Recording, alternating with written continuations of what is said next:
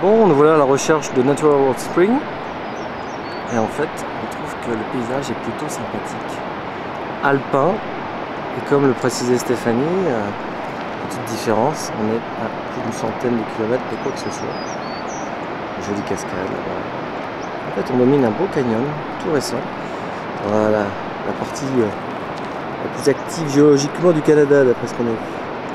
Et là, on a remonté tout ce grand torrent. Et tout au fond là-bas, très loin, Penberton. Hop Ça va les filles? Ah ouais, carrément là. Hein? C'est le paradis. Ah ouais, hein?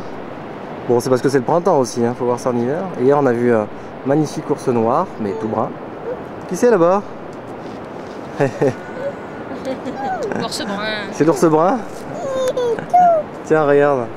Bon, filme-nous Noé.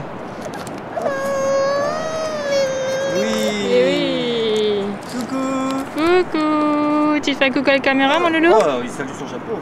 Ah, bonjour, messieurs, dames. Eh, coucou. Merci des arrêtés filés.